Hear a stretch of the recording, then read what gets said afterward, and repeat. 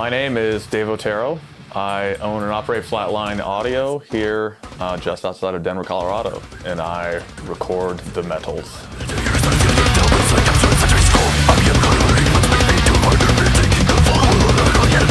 I've kind of made my name in the extreme metal world, uh, just, you know, I mean, sort of by happenstance, I guess. I've played in those types of bands myself. I kind of do get how it's supposed to sound, uh, and I think I have enough of my own spin on it that uh, is attractive to certain bands as far as like trying to approach it from a slightly more organic angle than, than maybe some of the other, other guys doing similar style stuff.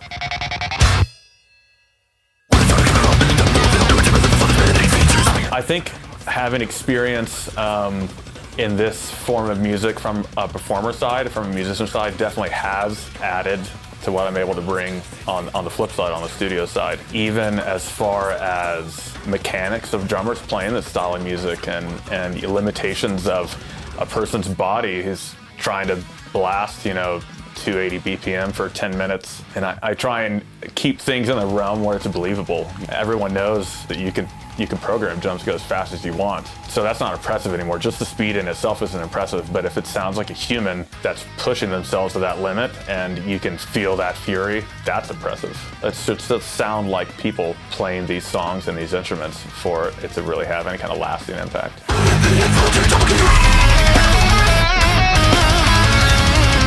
Role of a producer in music is undefined on purpose by definition. And it really, your job is to be whatever the project needs. And if that's a guy that's just there to take the ideas from the band and get it on tape and ship it out to the world, then that's what you do. If it goes beyond that, if you have to step in and help with writing, take a more active role in coaching performances, even managing their lifestyle while during the session, you know, like getting people to bed on time. I mean, it, uh, getting people to eat properly, get good rest, not drink and do drugs the night before they have like a lot of work to do. I mean, it, it, it runs the gamut. It's, your job is to do whatever is needed. Essentially, you're being paid by a record label whoever is releasing this music to ensure a good product. So it's, it's whatever it takes.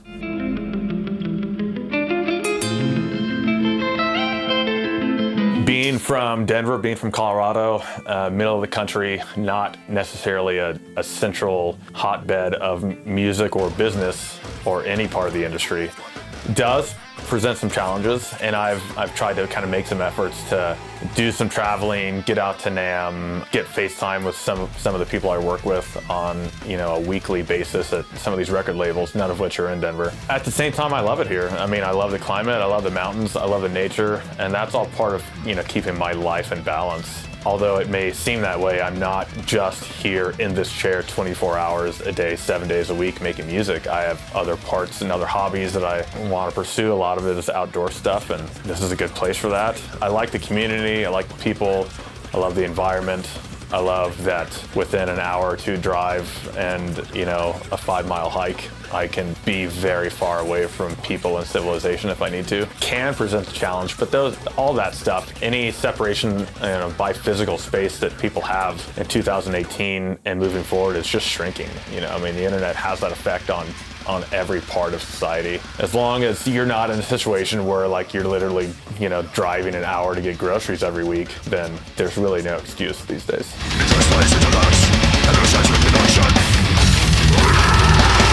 If you're not putting out consistent work that the bands are happy with, the labels are happy with, and the general populace is buying, then you know you're not going to continue to get business. The other part of that, which goes farther than people would think, is being a pleasurable person to deal with on a business front, and that goes from being good at communication, sticking to your deadlines or close to your deadlines, delivering clean files in an organized manner, being accountable when, when things do inevitably happen. There are going to be mistakes, there are going to be last minute changes. Particularly as a person starting off in the industry, you need to bend over backwards and leave people with a good impression of your work and your personality and your professionalism.